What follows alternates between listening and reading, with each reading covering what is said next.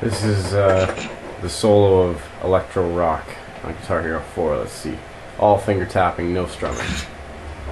see how this goes.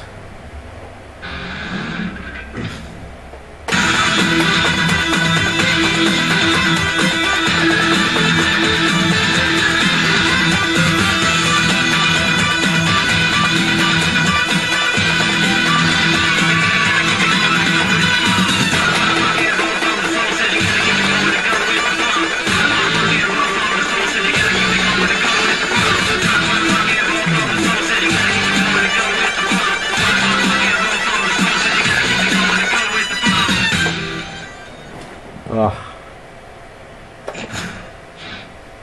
Oh, I missed one note. One note. That was close.